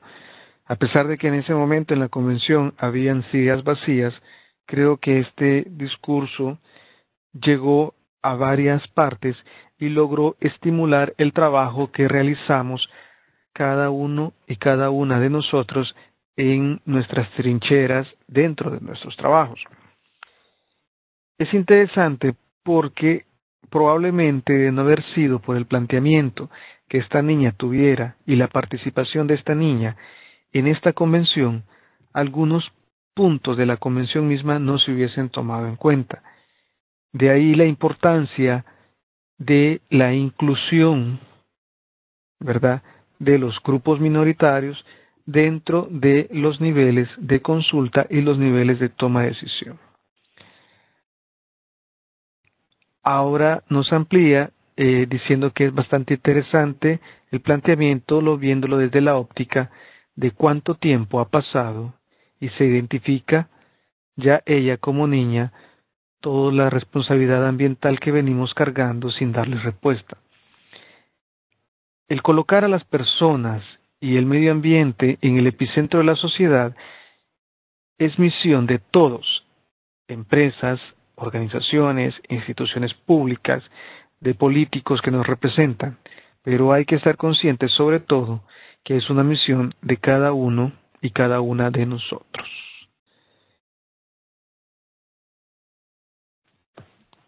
Bien, en este momento desactivé mi cámara para que vieran el vídeo. Eh, vamos a tomarnos, ¿les parece? 15 minutos de receso. En mi reloj son las 10 con 45, nos vamos a tomar 15 minutos de receso para que puedan levantarse, estirar las piernas. Eh, yo sé que algunos podrán estar quizás todavía en pijama en sus casas, eh, sin embargo, eh, yo sí me tengo que levantar. Entonces, nos tomamos 15 minutos para que vayan al baño, beban agua. Yo regularmente en, mis capacitaciones suelo dar chocolates a las personas que intervienen. En este caso, dadas las condiciones virtuales en las que nos encontramos, difícilmente les puedo hacer llegar un chocolate. Eh, sin embargo, por favor, nos vemos, como dice Alicia, puntualmente a las 11 de vuelta para ver la segunda parte de eh, la videoconferencia de hoy. Gracias. Bueno, ya en vista de que se encuentra ya la mayoría de vuelta, vamos a dar inicio a la parte número dos de eh, la jornada de esta mañana. Eh, nuevamente, así como dicen en los en las radios, este programa es auspiciado por el programa de construcción de capacidades con enfoque de género en gestión estratégica de reducción de riesgos de desastres en Centroamérica en el cual se enmarca el diplomado sobre género y gestión de riesgo de desastres. ¿Ok?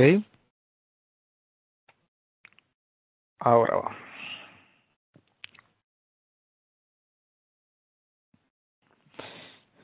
Muy bien. Entonces, nuevamente, eh, vamos a la segunda parte eh, de la presentación de hoy. Ah, Vamos eh, siempre enmarcados en el módulo 3 de devolución del estado actual de los derechos humanos de las mujeres, aplicando el enfoque de la gestión de riesgos y como objetivo el analizar los marcos políticos y legales sobre género y gestión de riesgos de desastres. Ok. Eh, ya vimos la conferencia de las Naciones Unidas sobre el Medio Ambiente y el Desarrollo, mejor conocida como la Declaración de Río, y ahora vamos a ver la Convención de las Naciones Unidas sobre Desarrollo Sostenible, mejor conocida como Río más 20.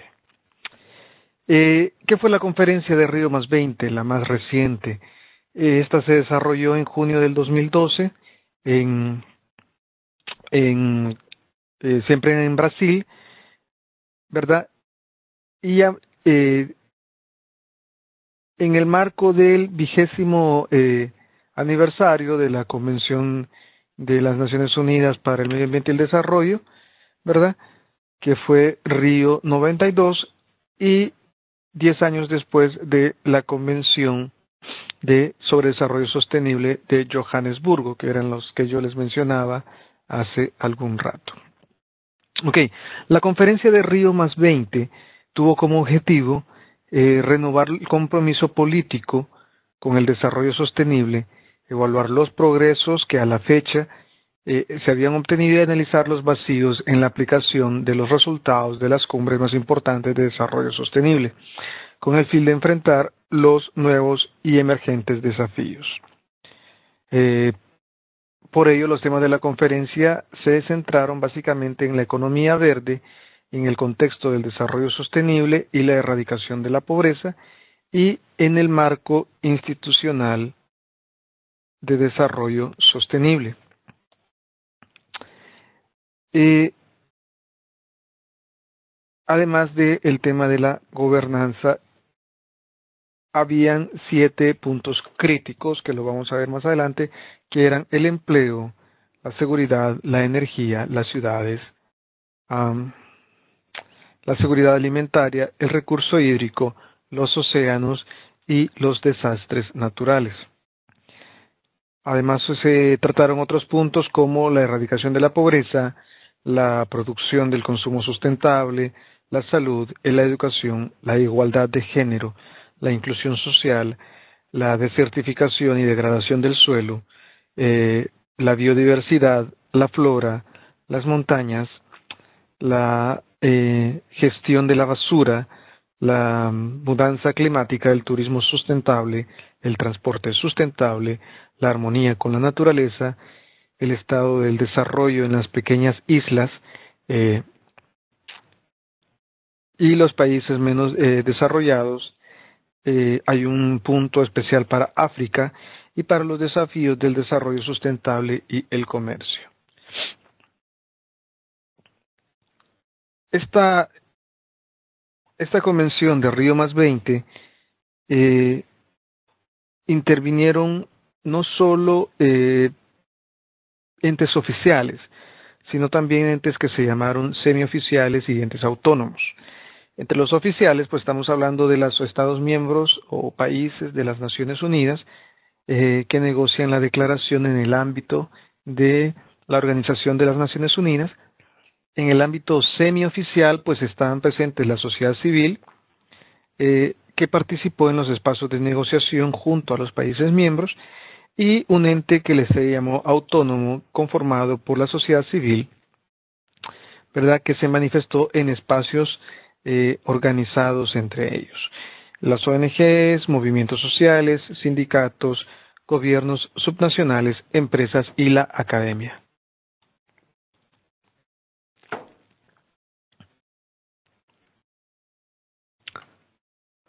Ok, antes de entrar en materia de qué es lo que los resultados de la conferencia de Río más 20, vamos a tomarnos el espacio para ver dos, dos videos, dos materiales de, de video. El primero es el material que presentan un grupo de mujeres de América Latina, eh, grupo de mujeres indígenas de, de la LAC, sobre su preocupación de los temas que van a ser abordados en la conferencia de Río más 20. Pero también vamos a ver las 20 propuestas de la sociedad civil que llevaron a presentar a Río más 20. Eh, esto en el marco pues de recalcar que en Río más 20 hubo una participación activa eh, de una participación activa de las mujeres en esta conferencia de la Tierra, ¿verdad? Eh, eso ha permitido que el tema de género o eh, básicamente el tema de inclusión de las mujeres eh, entrase en Río, en la Convención de Río, y ya el tema de género entrase en la Convención de Río más 20 y en la Agenda 21. Eh, bien, entonces vamos a tomarnos ahora, vamos a, a partir de los, de los vídeos, vamos a tomarnos ahora el tiempo para ver el primer vídeo, que es el link que he puesto a continuación. Dura, eh, perdón, dura siete minutos. Eh, les voy a pedir por favor que, cumplamos los tiempos ahorita porque en esta parte vamos a ver tres vídeos. Las mujeres indígenas y eh, el vídeo de las 20 propuestas de la sociedad civil. Si al final de la jornada no logramos ver una, un vídeo resumen de los avances de Río Más 20 en Kenia, eso quedaría como una actividad eh, que ustedes tendrían que darle continuidad fuera de este tiempo. ¿Verdad? Entonces ahorita, por favor, eh, vamos a reproducir el video de la coordinadora andina de organizaciones indígenas. noten la importancia de este, de este video en el cual me trae, creo que fue un comentario que hizo Cleo, eh, en el que hablamos de, eh, de un punto. Ya, eh, aquí hablamos de la responsabilidad compartida, pero diferenciada. Las mujeres indígenas nos dicen de que su temor en la conferencia de Río es que se establezcan nuevas em, directrices en materia de protección del recurso medioambiental que riña con eh, sus actividades cotidianas o sus actividades productivas. Claramente, esto es un punto que no se toma en cuenta desde la cabeza de los líderes que se encuentran en estas negociaciones, en el sentido de que en lugar de reducir las emanaciones de gases de efecto invernadero, en lugar de producir algunas políticas de los países más desarrollados o aquellos países que más contaminan, ¿verdad? Ahora las acciones están orientadas a los países menos desarrollados para que estos países preserven su, su, su biota, ¿no? su, biosfera. Lo cual eh, comentaba eh, la compañera eh, Berenice de, la, de las comunidades indígenas de que eso se ve afectado porque les van a privar a ellas de entrar a los bosques si estos bosques se consideran una área natural protegida. Si ustedes se ponen a pensar desde el contexto de los pueblos indígenas, ¿qué culpa tendrían los pueblos indígenas con la, el aumento de la producción de gases de efecto invernadero o con el deterioro, perdón, medioambiental cuando, el que, cuando la intervención que ellos hacen eh, no se compara en ninguna medida a la contaminación generada por los grandes países. Entonces es muy interesante el planteamiento que tienen como mujeres y como comunidad indígena. Ok, ese fue el primer vídeo. Ahora vamos a tomar el segundo vídeo, esta vez eh, no lo voy a compartir porque eh, me comentaban que no se veía bien. Entonces voy a colocar ahora mismo el link del segundo vídeo, que el segundo vídeo es eh, las 20 propuestas de la sociedad civil para Río más 20 en tema de género. la sociedad civil, por medio de un proyecto a decir, elaboró propuestas para Río, para llevar a Río en varios temas, en el tema de género, en el tema de agua, en el tema de energía y en el tema del desarrollo sostenible. Este video es corto, dura 3 minutos 41 segundos, así es que les voy a pedir que lo veamos para conocer cuál fue la propuesta que se llevó desde las eh, eh, organizaciones de la sociedad civil a la conferencia de Río más 20. Veamos ahora pues el video. Sin igualdad, sin igualdad entre mujeres y hombres es imposible el desarrollo sostenible. Eh, con esas palabras cierra la intervención la colega de Solidaridad Internacional. Ahora, en tema de inclusión de género, en la cumbre de Río más 20, se lograron cambios más o presencia más significativa eh, a diferencia de Río. En el documento marco de la, de la convención, de la conferencia, perdón, pueden ustedes encontrar que hay alrededor de 57 menciones, 52 menciones, perdón, de mujeres a lo largo del documento y aproximadamente eh, más de 20 menciones del tema de género. Son las 11.33. Eh, he hecho un extracto de los principales eh, puntos dentro del el documento El futuro que queremos, que fue el marco del resultado de la Convención de Río más 20, en los cuales encontramos el enfoque de género y la inclusión de las mujeres, pero más allá de la inclusión de las mujeres está la inclusión tanto de las mujeres, de los niños, de las niñas, de las personas adultas mayores y de los pueblos indígenas o de hay algunos que contempla el tema de la diversidad sexual. Entonces, el futuro que queremos, que fue el documento resultado de la conferencia eh, de Río más 20, arrojó eh, tres niveles. Un nivel de la visión común, un nivel de los temas eh, transversales y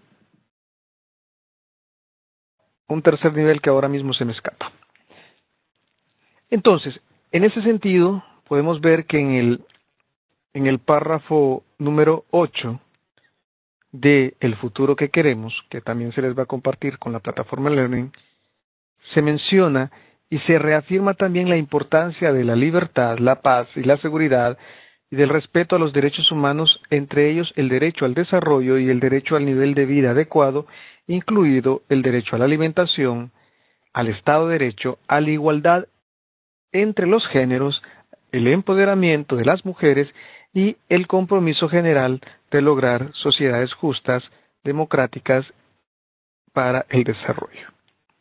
Hoy no tuvimos que esperar hasta hacer el principio número 20 de la de los, de los tratados, sino que ya está incluido el enfoque de género desde las primeras partes del documento, como lo fue el párrafo 8 del mismo.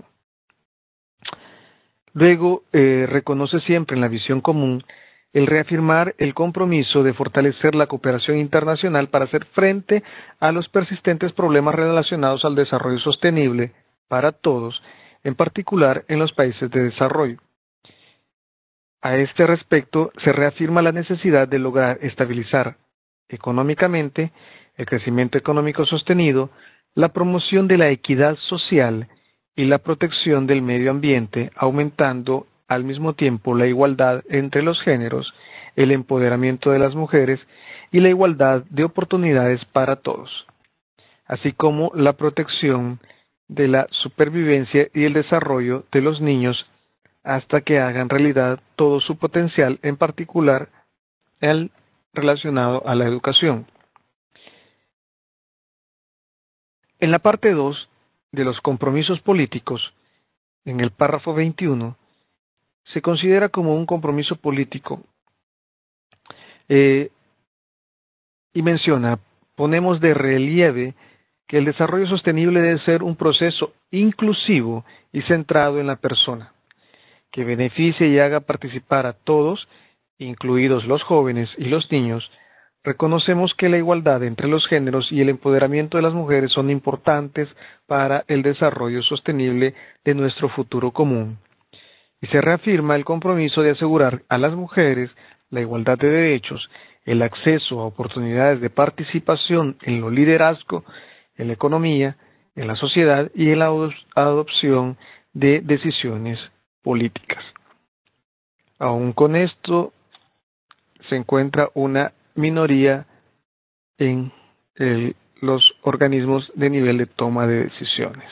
Para muestras, el número de mujeres que participan como candidatas a nuestra eh, nuestro parlamento, ¿verdad? nuestra asamblea legislativa, y de estas cuántas mujeres tendrán un rol en el nivel de toma de las comisiones vinculadas al medio ambiente y a la gestión integral de riesgos de desastres. En el inciso C, siempre de la renovación del compromiso político, en el tema relacionado a la participación de grupos principales y otros grupos interesados, encontramos eh, que se recalca la participación amplia del público y el acceso a la información y los procedimientos judiciales administrativos son esenciales para promover el desarrollo sostenible. El desarrollo sostenible requiere la implicación efectiva y la participación activa de las autoridades legislativas, judiciales regionales, nacionales y subnacionales, así como de todos los grupos principales, mujeres, niños, jóvenes, pueblos indígenas, organizaciones no gubernamentales, autoridades locales, trabajadores y sindicatos, empresa e industria, comunidad científica y tecnológica y agricultores, y demás interesados como las comunidades locales, los grupos de voluntarios y fundaciones, los migrantes, las familias, las personas de edad y las personas que viven con discapacidad. Al mismo tiempo, eh, a este respecto, eh, se conviene en colaborar más estrechamente con los grupos principales y demás interesados en los y los alentamos a que participen activamente según proceda en los procesos que contribuyan a la adopción de decisiones, la planificación y la aplicación de políticas, programas que conformen el desarrollo sostenible de los niveles. También se recalcó que las mujeres pueden contribuir decisivamente al logro del desarrollo sostenible, reconocer la función de liderazgo de las mujeres y resolvemos promover la igualdad entre los géneros y el empoderamiento de las mujeres y asegurarles su participación plena y efectiva en las políticas, los programas y los procesos de adopción de decisiones en materia de desarrollo sostenible a todos los niveles.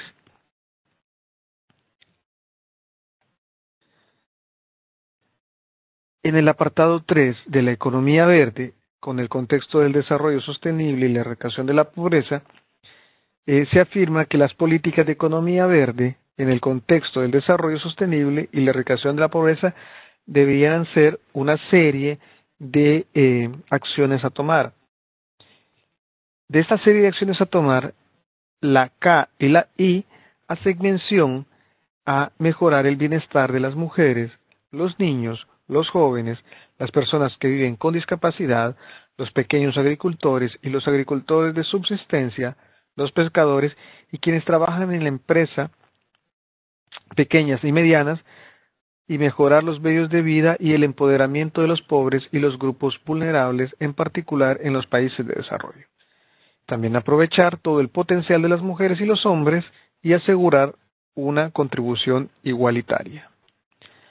Se alenta a todos los países a que consideren la posibilidad de implantar políticas de economía verde en el contexto del desarrollo sostenible y la erradicación de la pobreza, de manera que se, se procure impulsar el crecimiento económico y una creación de empleos sostenidos, inclusivos y equitativos en particular para mujeres, jóvenes y personas que viven en condiciones de pobreza.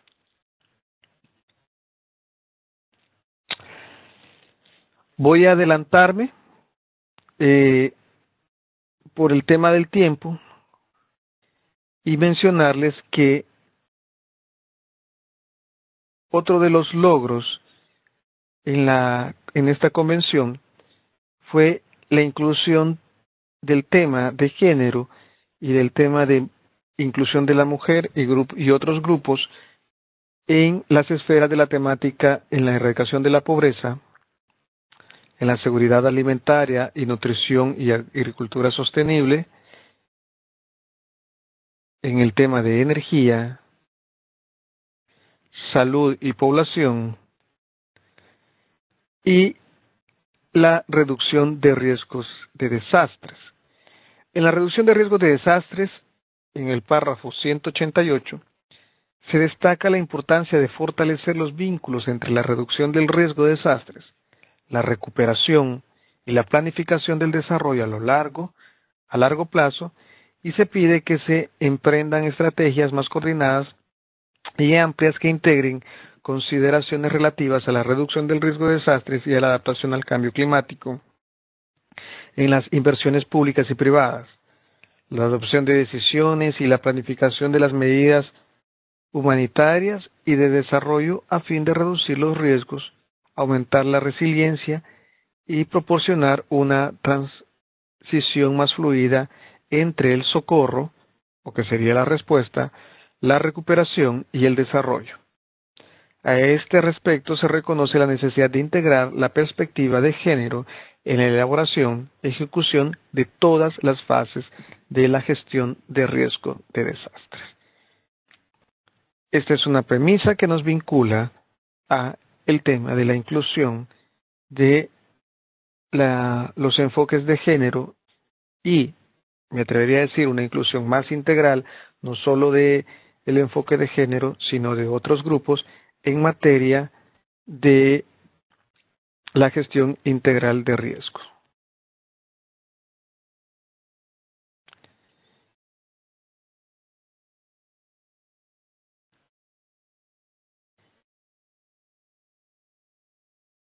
Incluye también el tema de educación, la transversalización del enfoque género en educación, pero hay un apartado especial que incluye la igualdad entre los géneros y el empoderamiento de las mujeres.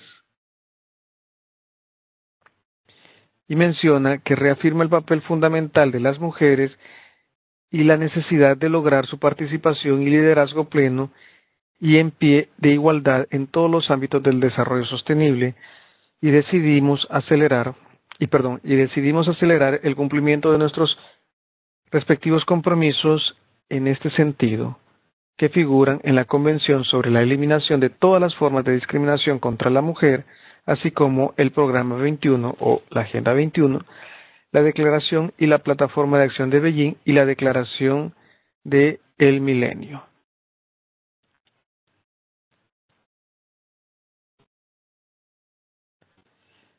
Aquí, se, aquí he citado todo el apartado que dentro del el documento marco, el documento eh, resultado de la Conferencia de las Naciones Unidas habla en torno a el enfoque e igualdad de género.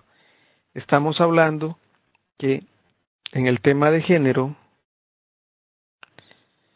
o en el tema del apartado del el futuro que queremos, que eh, se llama eh, literalmente la igualdad entre los géneros y el empoderamiento de las mujeres, se citan alrededor de eh,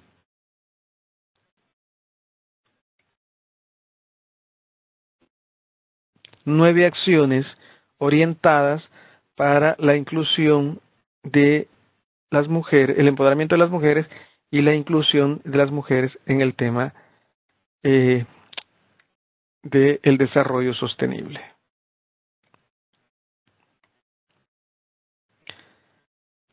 Se reconoce que a pesar de que de los avances logrados en materia de igualdad de género en algunos de los ámbitos, el potencial de las mujeres para colaborar en el desarrollo sostenible, contribuir a este y beneficiar de él como líderes, participantes y agencias de cambio no se ha hecho plenamente efectivo debido, entre otros motivos, a la persistencia de la desigualdad social, económica y política. Apoyamos que se asigne prioridades a las medidas para promover la igualdad entre el género y el empoderamiento de las mujeres en todas las esferas de nuestra sociedad, incluida la eliminación de las barreras para la participación plena y en pie de igualdad en la adopción de las decisiones y la gestión de todos los niveles y podemos de, em, y ponemos de relieve el impacto de la fijación de los objetivos concretos y la aplicación de medidas de carácter temporal según proceda para aumentar sustancialmente el número de mujeres en puestos de liderazgo con el objetivo de lograr paridad entre los géneros. Se resuelve el aprovechar el potencial de las mujeres como impulsoras del desarrollo sostenible por medios eh, como la derogación de la ley discriminatorias y la eliminación de las barreras formales a fin de asegurar el acceso a la, a la justicia y el apoyo jurídico en condiciones de igualdad, la reforma de las instituciones para garantizar la competencia y las capacidades relacionadas a la incorporación de la perspectiva de género, la actividad gerencial, general perdón, y la formulación y adopción de los enfoques innovadores y especiales para hacer frente a las prácticas no reguladas y dañinas que obstaculizan la igualdad de los géneros. En ese sentido, eh, los gobiernos se comprometen a crear un entorno propicio para mejorar la situación de las mujeres y las niñas en torno a las partes esenciales en las zonas rurales y las condiciones locales, así como entre los pueblos indígenas y las minorías étnicas.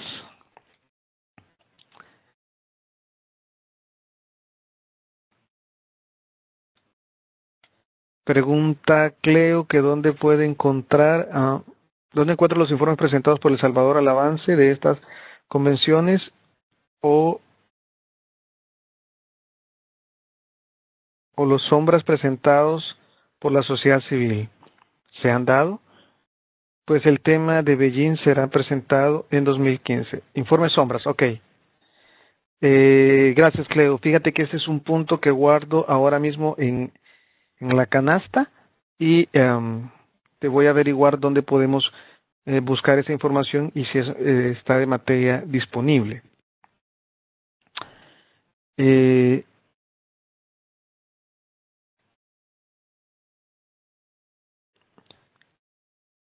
en la 239. Ok, creo. Te, te, voy a agradecer también que me lo que me lo recuerdes vía vía correo. Al final de la presentación está mi dirección. Eh, nos comprometemos a promover las actividades de la recopilación y el análisis y el uso de indicadores que tengan en cuenta las cuestiones de género y los datos desglosados por sexo en el marco de las políticas, diseños, programas y supervisión de conformidad con las circunstancias y capacidades nacionales a fin de cumplir la promesa de alcanzar el desarrollo sostenible para todas. Estamos comprometidos con la igualdad de los derechos y oportunidades de las mujeres en la adopción de decisiones en políticas económicas y la asignación de recursos, así como la eliminación de los obstáculos que impiden a las mujeres participar plenamente en la economía. Resolvemos emprender reformas legislativas y administrativas que otorguen a la mujer iguales derechos que a los hombres a los recursos económicos, incluidos los relativos al acceso a la propiedad, el control de la tierra y otros bienes, el crédito, herencia y a los recursos naturales y la tecnología apropiada. Se estarían comprometiendo los estados a promover la igualdad de acceso a las mujeres y niñas a la educación, los servicios básicos, las oportunidades económicas y los servicios en salud, incluida la atención en salud sexual y reproductiva a mujeres y asegurar el acceso universal a los métodos modernos, seguros, eficaces, asequibles y aceptables de planificación familiar. En ese sentido, se reafirma el compromiso de aplicar el programa de acción de la Conferencia Internacional sobre la Población del Desarrollo y las medidas clave para seguir ejecutando el programa de acción. Se reconoce que la igualdad entre los géneros y la participación efectiva de las mujeres son importantes para la adopción de las medidas eficaces en todos los aspectos del desarrollo sostenible.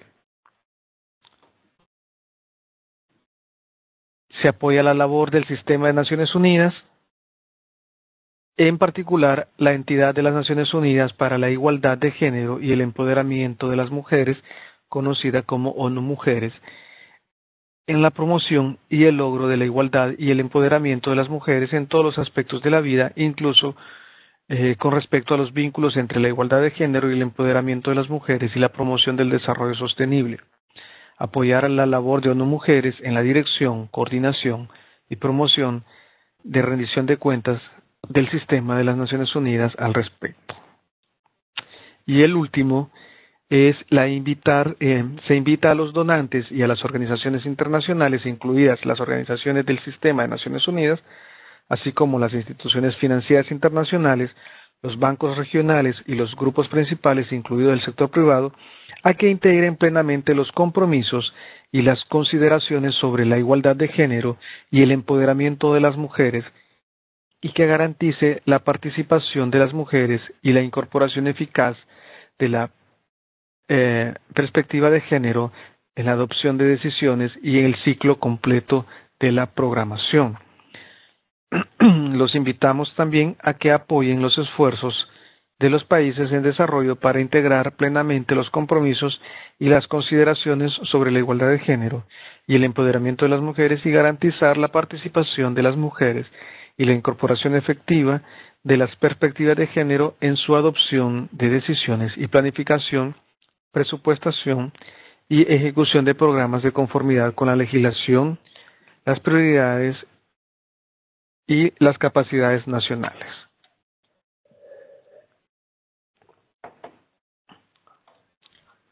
Esta es una visión, eh, esta es una visión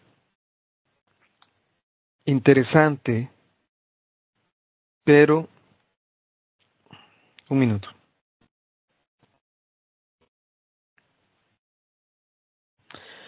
Esta es una visión interesante, pues ya eh, en este eh, tiene realce la participación de las mujeres en el marco del documento resultado de la Convención de Río. Sin embargo, la pregunta es, ¿qué estamos haciendo como país? Y en vista de que Alicia me dijo, mira, hay que ponerles nota a, a las personas que participan en el curso, ¿verdad? Eh, vamos a partir de una tarea que va a quedar asignada cuando suba los documentos, es vamos a hacer un análisis, ya no extenso, máxime dos hojas, de cómo creemos que está siendo tomado para efectos del Salvador o para efectos del Nicaragua, el caso de, del colega eh, eh, José de Nicaragua, cómo está siendo incluido estos enfoques de la inclusión de las mujeres y del enfoque de género, eh, de igualdad de género, en cada uno de nuestros territorios a partir de estos apartados. Porque si no, podemos encontrar lo que estamos viendo en esta eh, imagen caricaturesca que salió publicado en un periódico de Brasil. En Río 92 o en la conferencia de Río decían, y ahora algunas eh, propuestas, ¿no? En Río más 20 y la idea sería, y continuamos hablando, cuando lleguemos a la convención de Río, más, eh, de Río 2100, ¿verdad? Eh, que sería la conferencia sobre ningún ambiente, no vamos a tener ninguna propuesta ni ninguna idea para hablar en torno al medio ambiente. Hay un vídeo más que me gustaría que vieran. Este vídeo dura 15 minutos, eh, pero nos da una visión de que Río más 20 es más allá que una simple convención. Y es un video que eh, produjo la FAO, ¿verdad? Eh, como una medida para eh, conseguir un cambio en la, en la mentalidad de las personas, ¿verdad? Y yo se los comparto. Sé que la clase termina a las 12, eh, faltan 6 minutos para las 12, el video dura 15 minutos, por los que les pediría en todo caso, si eh, vemos el video,